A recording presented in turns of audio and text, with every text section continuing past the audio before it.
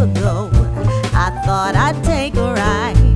And soon Miss Fanny Bright was seated by my side. The horse was lean and lank. Misfortune seemed